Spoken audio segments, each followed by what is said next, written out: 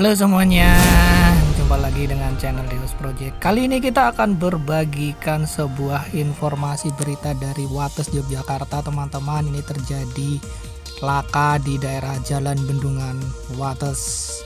Seperti ini videonya, teman-teman. Laka ini diduga karena posisi jalan yang agak menikung, teman-teman. Ini mau belok ke kanan, tetapi dari sang drivernya tidak nyandak teman-teman. Akhirnya dibuang ke arah kanan sehingga terjadilah kendaraan ini balik teman-teman. Buat teman-teman yang sedang berjalan dari posisi daerah Wates, Kulon Progo dan sekitarnya untuk berhati-hati karena ada laka yang terjadi di daerah ini. Semoga semuanya lancar sampai tujuan. Kita bertemu di video-video yang lainnya. Sampai jumpa